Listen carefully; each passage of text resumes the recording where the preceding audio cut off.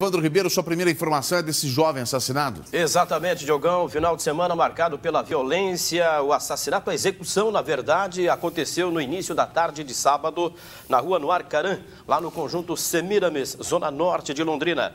A vítima, identificada como Renato Ribeiro de Farias Júnior, 20 anos, foi encontrado morto sentado em uma cadeira no interior de uma borracharia e lava rápido. Socorristas do CIAT chegaram rápido, mas a vítima foi atingida por vários disparos de arma de fogo em regiões do corpo vitais. Constatada a morte do jovem, os bombeiros isolaram a área, acionando a criminalística doutor Luciano Bucharles no local.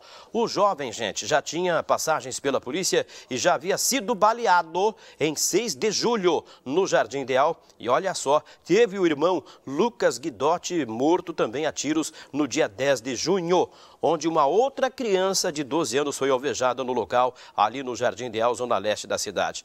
O pai da vítima, Diogão e amigos do PH, esteve lá no local, no Semiramis, bastante abalado, inconformado. Na verdade, né, Diogão, perdeu dois filhos em menos de um mês, né? Executados, um no ideal e agora este mais velho lá na zona norte da cidade. E o rapaz já tinha algumas passagens pela polícia, inclusive em alguns segmentos sociais aí, não é, Diogão? Redes vale, sociais. Redes sociais. É, portando é, metralhadora. Esse daí que estava sentado? Exatamente. É aquela foto dele com uma metralhadora foto. numa mão e uma pistola na outra. Exato. Quer dizer, o caminho dele não estava lá indo para a igreja coisa nenhuma, né, Diogão? É. é de fato, 719, camarada que posta nas redes sociais a foto com uma metralhadora e uma pistola, a não ser que fosse uma brincadeira e aquilo fosse uma arma de brinquedo, Mas, que eu é, duvido. me disseram que não era que de eu duvido. É, o camarada estava procurando sarna para se coçar. Né?